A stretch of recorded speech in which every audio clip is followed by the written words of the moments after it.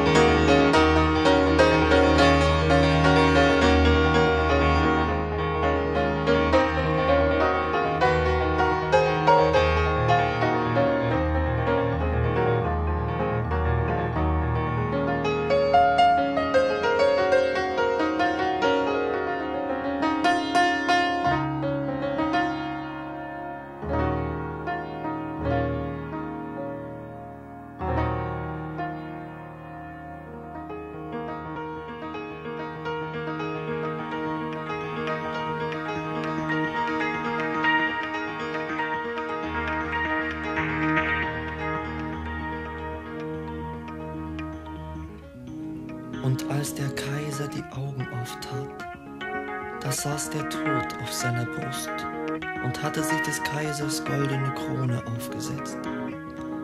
Und die Nachtigall begann zu singen. Sie sang vom Friedhof, wo die Toten ruhen, wo hinter alten Mauern hohe Bäume stehen und wo die Erde von Tränen genetzt wird. Sie sang vom Nebel, der zwischen Steinen ruht und von schmalen Wegen, die durch die Stille ziehen.